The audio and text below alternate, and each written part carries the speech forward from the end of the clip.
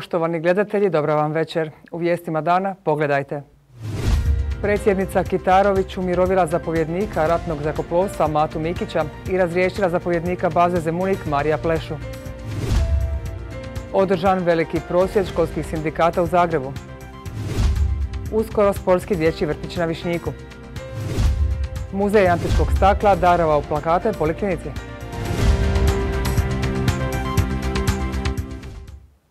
Pale su i prve smjene kao posljedica afere municija.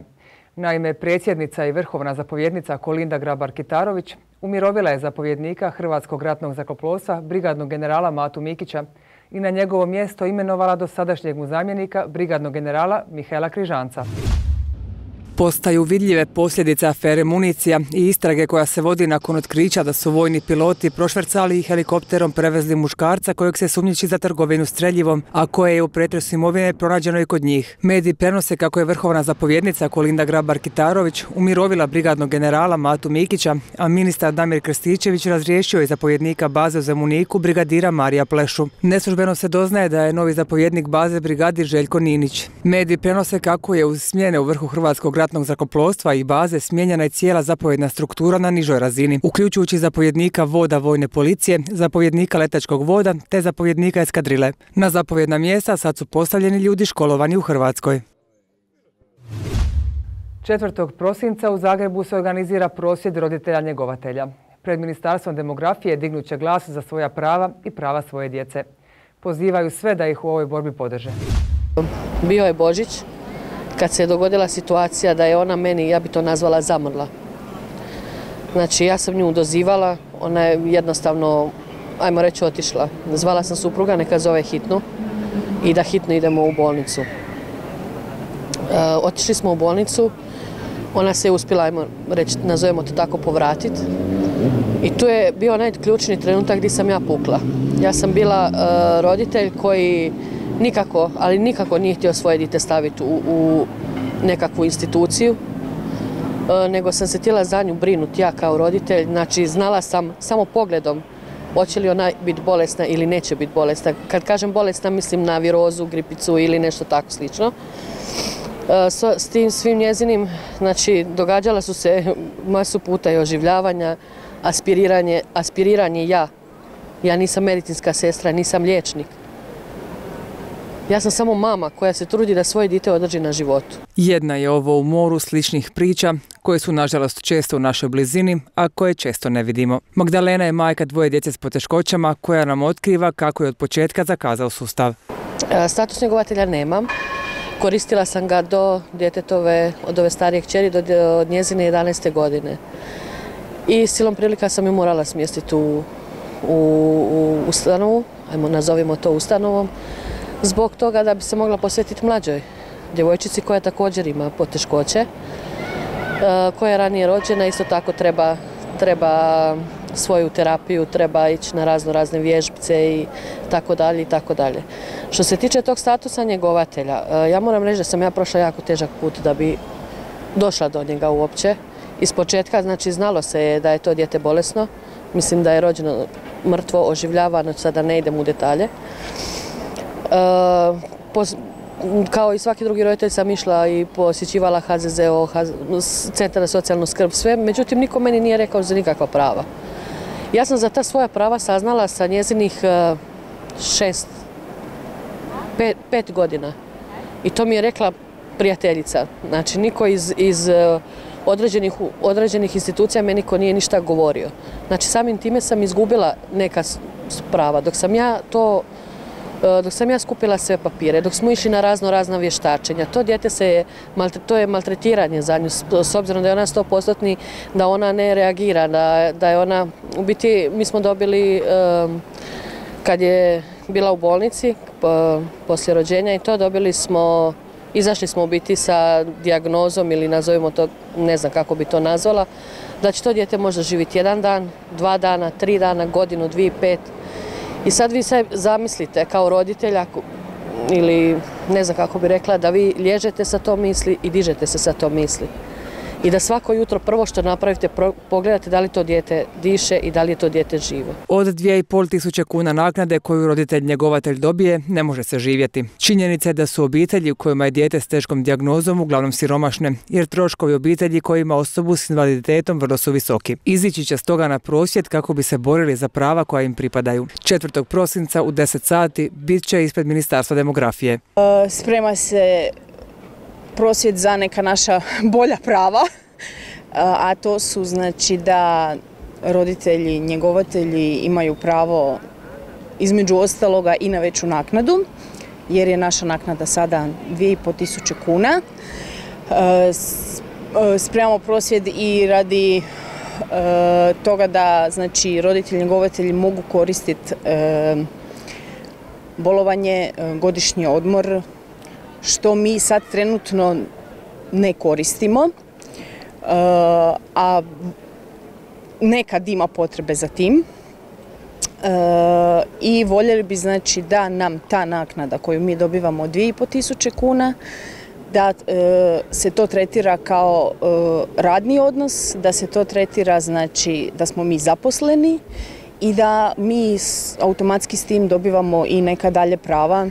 Ono što nas sve muči znači je nekad kad si u potrebi znači da možeš dobiti i neki kredit, da to u banci nije naknada nego da to nama plaća u banci, da možemo koristiti znači e, ima slučajeva di se roditelji razbole uz sve to, ne mogu koristiti znači bolovanje jer e, sada je praksa takva da znači ako roditelj treba koristiti bolovanje, e, dijete ide u neku od ustanova.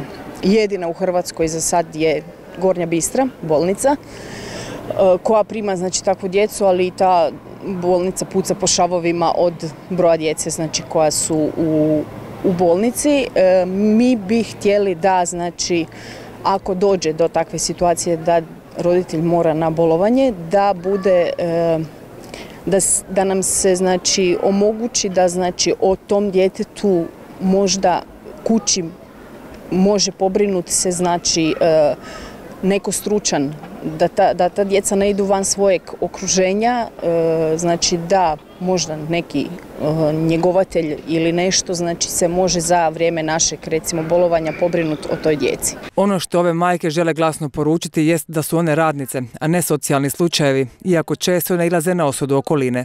Neko smatra da smo mi roditelji, njegovatelji, tako su nas nazvali, čini mi se, prije jedno dvije godine uhljebi i da smo paraziti ove države. Zbog čega? Zbog čega smo mi E, zadnja rupa nasvirali. Zbog čega mi, roditelji ili naša dica, ne zaslužuju dostojanstven život. Zbog čega, zbog čega nas niko ne razumije i većina ljudi nas gleda kao e, što bi vi htjeli, vi ste doma, mi plaćamo poreze, a vi dobivate e, novac. Pa evo, ako ima netko da se želi mijenjati, draga srca mu dajem svoj život. Apeliraju na javnost da ih podrži u ovom prosjedu. Nikad ne znate što vas čeka iza ugla i tada bi nečiji tuđi problem mogao biti vaš. Pa ja bi ovaj voljela, e, s obzirom da se iz Zadra sprema i da je nas par mama pokrenulo e, da bi se išlo na prosvjetu Zagreb, Uspjeli smo i prijevoznika naći, e, ja bi pozvala sve, bez obzira da li su roditelji njegovatelji, da li su roditelji djece s teškoćama u razvoju, da li su uopće roditelji nebitno, znači bitno je da nas se čim više skupi, da nam daju podršku i da napunimo taj autobus i odemo za Zagreb. Također kao gospođa Dorotea bi pozvala sve da nas stanu s nama uz bok, da se to konačno promijeni.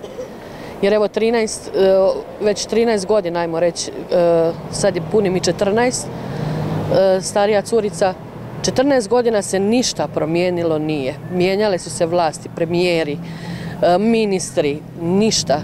Znači, apsolutno ništa se promijenilo, eventualno što se e, podigla invalidnina na, čini mi se, za 200-300 e, kuna. I s time bi mi trebali živjeti. Većina roditelja živi na rubu egzistencije. Potreba da se korigira status roditelja njegovatelja jest realna. Traže da se za to uvede plaćeni rad, a ne socijalna naknada. Jedna od bolnih točaka njihovih zahtjeva je pravo roditelja njegovetelja na bolovanje, budući da to pravo postoji doista samo na papiru, ali ne i u praksi. Nije to ništa nemoguće, ništa pretjerano, ništa luksuzno, tek ono osnovno da se može dostojanstveno živjeti. Stoga podržite ovaj prosvjed. Kaže, uvijek smo nasmijani, uvijek smo vesele. A to je zato što mi ne damo. Šta se događa u naših četiri zira, to niko ne zna. Svi roditelji njegovatelji, sve majke koje imaju dicu, isplakale su more sinje suza, a to niko nije vidio. Jer e, lako je doći i reći bit će sve u redu. Ok, bit će sve u redu, mi se s time vodimo, jel? A znamo da neće. Evo ja konkretno, meni cura moja, sad si puni 14 godina, a izašla iz bolnice sad sa tim da će umret možda za jedan, dva, tri, pet dana. 14 godina živim i čekam. A jučer je na glavnom Zagrebačkom trgu održan veliki prosvjed prosvjetara i svih koji podržavaju štrajk u prosvjeti. Gotovo 40 tisuća ljudi prosvjedovale, a sindikalisti su s vladom održali sastanak koji je trajao gotovo 7 sati. Rezultati pregovora još nisu poznati. Pod geslom Hrvatska mora bolje na glavnom Zagrebačkom trgu održan je jučer prosvjet sindikata prosvjete te svih onih koji zaposlene u prosvjeti podržavaju. Iz Zadra je u Zagreb išlo devet autobusa. E, I zadarski su nastavnici u osnovnim i srednjim školama išli u Zagreb. Devet autobusa, tri autobusa iz srednjih škola i šest autobusa iz osnovnih škola. To je bio stvarno veličanstven skup i pokazao je kolika je volja i želja nastavnika iz osnovnih srednjih škola da ustraju u svojim zahtjevima i da javno pokažu što misle o politici vlade prema obrazovanju. Iz policije procjenjuju kako je u Zagrebu prosvjedovalo oko 40 tisuća ljudi. Sigurnosne mjere bile su na visokoj razini, a prosvjed je bio vrhunski organiziran, ističu iz sindikata. Dakle, bile su visoke sigurnosne mjere. Prosvjed je bio vrhunski organiziran, Autobusi su dolazili iz područja čitave Republike Hrvatske od Prevlake pa do Iloka i e, skup je pokazao jednu spremnost ljudi da ustraju u svojim e, nastojanjima i da se bore za svoj status u društvu i za koeficijent. Transparenti koji su ljudi nosili bili su, bili su ručne izrade. Dakle, protekli vikend u nekim garažama ili stanovima ljudi su krojili drvene okvire i bili vrlo inventivni u svojim porukama. Jučer je također održani sastanak sindikalista i vlade koji je trajao sedam sati. E, jučer se odmah pokazalo e, koji, su rezultati tog prosvjeda. Naime, e, e, sastanak koji je trajao sedam sati između predstavnika sindikata i vlade pokazao je da ipak je taj prosvjed imao, prosvjed imao odjeka i do sada su ponude vlade bile 2% bez ikakvog razgovora, a sada su sada su neki postoci malo drugačiji, jer svakako se ne bi 7 sati ljudi dogovarali da je 2%. Naime, sindikati bi sigurno napustili taj skup. Nakon ovog sastanka iz sindikata poručuju kako se nazire kraj štrajka. Točni podaci o postocima i povećanjima plaće još nisu poznati. Kad vlada iznese svoju odluku među zaposlenima u prosvjeti, održat će se referendum o prihvaćanju te odluke, te će se tada odlučiti o daljnim koracima. Jučer je obilježen Međunarodni dan borbe protiv nasilja nad ženama, koji se prosjednim marševima obilježava diljem svijeta. Svakog dana, prema podacima UN-a, zbog sadašnjeg ili bivšeg partnera strada 137 žena. Započelo je akcija 16 dana aktivizma protiv nasilja nad ženama. Akcija je nazvana Jedna od triju, kao zabrinjavajuće upozorenje da će jedna od triju žena tijekom života biti izložena nekom obliku nasilja. Brutalni slučajevi nasilja nad ženama ove godine, nažalost, bili su više puta predmet brojnih medijskih napisa. Hrvatska je počela s izmjenom zakona kojima će se među ostalim poštriti kazne za počinitelje, ali civilne udruge i dalje upozoravaju na probleme. E, što se tiče situacije u Zadru imamo e, sigurnu kuću koja je podkapacitirana i žene se gube u sustavu. Pitaju se kad mi se to i dogodi gdje da krenem, a da ne postanem ne samo žrtva onog što već jesam, nego i žrtva prozivanja. Međutim, ja bi se tu e, željela dotaknuti jedne druge teme. Znači, ovaj tjedan je, odnosno ovih 16 dana je okrenuto prema e, fizičkom nasilju. Međutim, e, svi malo i gotovo ništa ne pričamo o psihičkom nasilju. Na jedno prijavljeno silovanje dolazi još 20 neprijavljenih. Butić naglažava kako žrtve silovanja doživljavaju ponovo u situacijama kroz koje ih tjera sustav. Vlada je u saborsku proceduru sredinom listopada uputila izmjene zakona o zaštiti od nasilja u obitelji, kaznenog zakona te zakona o kaznenom postupku, kojim se pooštravaju kazne za nasilje u obitelji, tjelesne ozljede prema bliskoj osobi, te se dižu maksimalne kazne zatvora za bludne radnje i spolno uznemiravanje. Na Višnjiku bi uskoro svoja vrata trebao otvoriti novi dječji vrtić. Radovi su pri kraju, sređuje se interijer, a sportske aktivnosti bit će sastavni dio programa ovog vrtića. Početkom nove godine u Zadru bi se u sklopu sportskog centra Višnjik trebao otvoriti novi sportski dječji vrtić. Radovi na vrtiću su završeni, a slijedi još interijer financirani iz Europskog socijalnog fonda. Pa dobro, evo, radovi su završeni. U sljedećim danima će se napraviti interijer. On je financiran iz Europskog socijalnog fonda u vrijednosti od oko 400.000 kuna. Ovaj vrtić će biti pod ingerencijom grada Zadra i sve to u sklopu vrtića gdje je vlasnik grad Zadar. Program ovog dječjeg vrtića dijelom će biti usmjeren na sport, a na Višnjiku djeca imaju svu potrebnu sportsku infrastrukturu. Biće se dijelom i sportski program, ali ono što kažem to je pod ingerencijom grada. E, ono što ovdje postoji kompletno riješena sportska infrastruktura, od onih najmlađih do rekreativaca, ovdje se radi o najmlađima, sigurno će biti djeca zadovoljna da budu u sportskom centru Višnjike. Za otvaranje vrtića potreban je još statut koji je u stvari, kako kaže direktor Karlović, samo formalnost za koju treba vremena. Ali kada se to riješi, već početkom sljedeće godine dječji vrtić će otvoriti svoja vrata. E, naše je bilo da se naprave radovi, ostalo je pod ingerencijom grada Zadra, treba se čekati da se riješi statut i to treba potvrditi gradsko vijeće. To je naravno, to je formalnost, a treba će vremena. Ono što ja predviđam negdje da će odmah e, početkom iduće godine krenuti. Kapacitet novog vrtića dostatan je za 50 djece, a zbog dobre i frekventne lokacije interes građana je velik. Odjel za fizikalnu medicinu, rehabilitaciju i reumatologiju Poliklinike opće bolnice Zadar dobio je poklon Muzeja antičkog stakla. Naime, Zadarski mas darovao je plakate ovom bolničkom odjelu kako bi oplemenio prostore te ih učinio ugodnijima svim pacijentima. Na odjelu za fizikalnu medicinu, rehabilitaciju i reumatologiju Poliklinike opće bolnice Zadar otvorena izložba Plakati za dar Mas Zadru. Ova izložba donacija je Zadarskog muzeja antičkog stakla ovom odjelu Poliklinike i to povodom obilježavanja Dana grada Zadra i blagdana Svetog Krševana te desete godišnjice muzeja. Prvo nismo zbog reume, nego smo zbog jedne lijepe izložbe, izložbe plakata koji je muzej antičkog stakla donirao bolnici. Zapravo smo koristili prigodu da to bude i za dan grada i e, za blagna Svetog Krševana, ali i za našu desetu obljetnicu. Tako da evo, ovdje ćemo sad imati otvaranje izložbe e, plakati za dar mas za Zadru.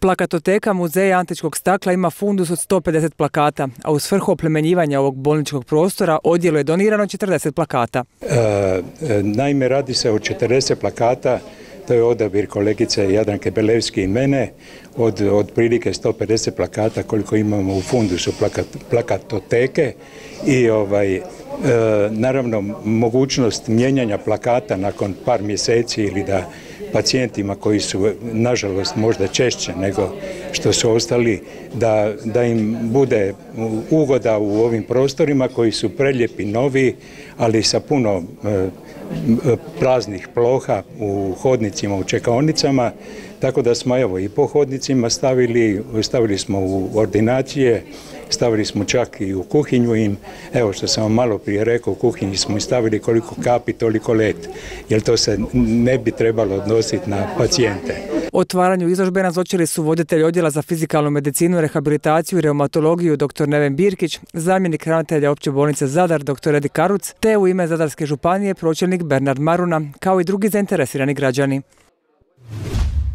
13. po redu festival vjenčanja u organizaciji Udruženja obrtnika Zadar ove godine za razliku od prethodnik održat će se u siječnju 2020. godine.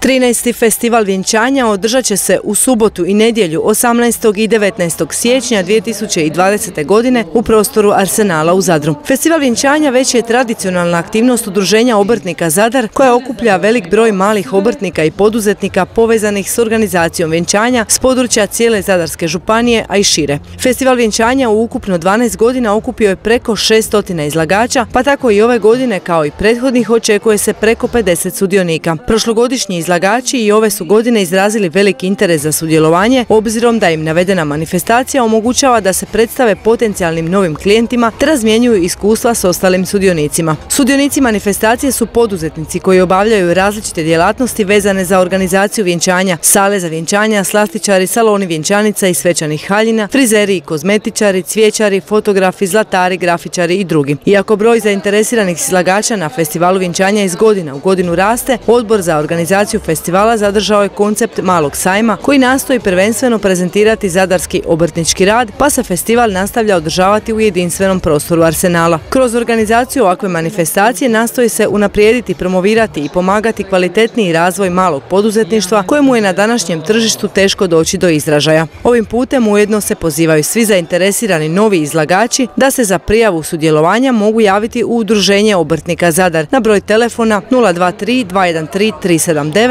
ili 213 678 te na e-mail info.uoz.hr. Na današnji dan Krešimir Ćosić slavio bi 71. rođendan. Rođen je u postratnom razdoblju 1948. godine u Zagrebu, no još kao dvogodišnjak je odselio u Zadar gdje je i odrastao, u grad koji od uvijek smatra svojim. Nije se uzalud govorilo da je Krešimir Ćosić čovjek ispred svog vremena. Njegovo vrijeme još uvijek traje, sjećanja ne blijede, a njegovo nasljeđe traće vječno. Nabrojati sve njegove košarkaške uspjehe nezahvalan je zadatak, jer izostavlja njegovu neponovljivu ljudsku veličinu. No, osvojio je sve što se osvojiti moglo. S državnom reprezentacijom Jugoslavije, za koju je nastupio 303 puta, osvojio je na Europskom prvenstvu prvo, drugo i treće mjesto, na svjetskom prvenstvu prvo i drugo mjesto, a na olimpijskim igrama zlatnu i srebrnu medalju. Iako je bio i draftiran u NBA NBA ligu, što se tada Evropljanima činilo nemoguće, želio igrati kod kuće za svoje klubove i za reprezentaciju. Životni put Ćosić je završio na diplomatskoj dužnosti u Hrvatskom veleposlanstvu u Washingtonu. U 47. godini života preminuo je u bolnici John Hopkins u Baltimoru nakon izgubljene bitke s teškom bolesti. Legenda o Kreši dalje živi diljem svijeta. 1996. godine ušao je u kuću slavnih košarkaša kao tek treći neamerikanac u povijesti. Od brojnih priznanja izdvojit ćemo kako košarkaški kup Hrvatske od 1998. godine nosi naziv kup Krešimir Ćosić, a 2002. posmrtno je za životno djelo dobio državnu nagradu za sport Franjo Bučar.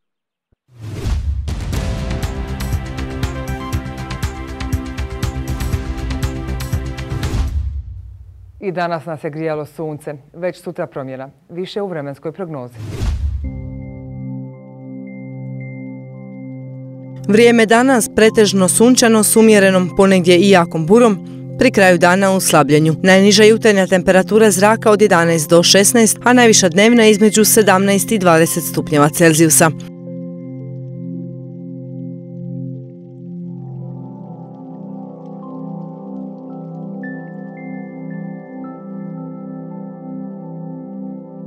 Na oblačenje s kišom sutra već prije podne zahvatit će sjeverni Jadran, a do kraja dana proširit će se duž cijele obale. Puhaće jako mjestimice i olujno jugo i jugozapadnjak. Najniža temperatura zraka između 10 i 15, a najviša dnevna je između 16 i 19 stupnjeva Celzijusa.